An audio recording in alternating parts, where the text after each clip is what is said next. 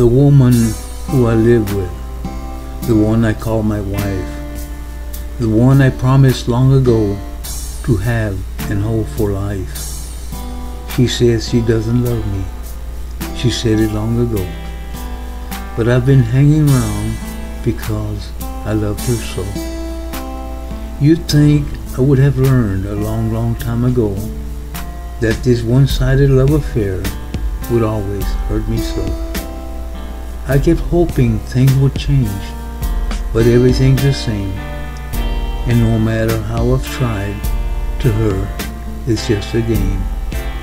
Now, I'm finally giving up. It's a game that I can't win. A game that's full of loneliness.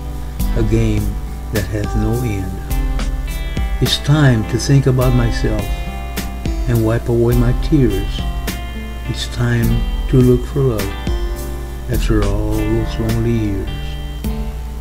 I know I promised years ago that I would never roam, but is it wrong to look elsewhere when there's no love at home?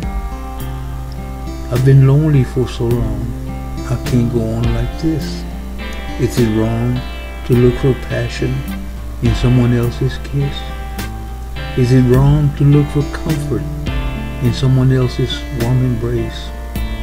Is it wrong to kiss warm lips on someone else's face? Whether it be right or wrong, I'm going to take a chance.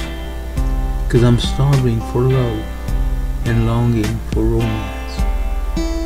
Even just a one night stand is worth the love I give. For moments I will treasure for as long as I may live. For just one night of love, I'll put my heart at stake, even though I know how easily it will break.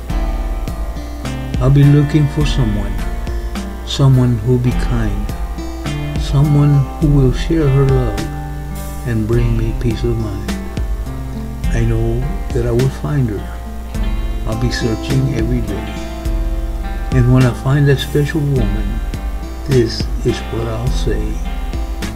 My heart is such a gentle thing, it won't put up a fight. Break it if you must, but be with me tonight. My heart is full of love. Darling, won't you take it? Just do me one small favor. Be gentle when you break it.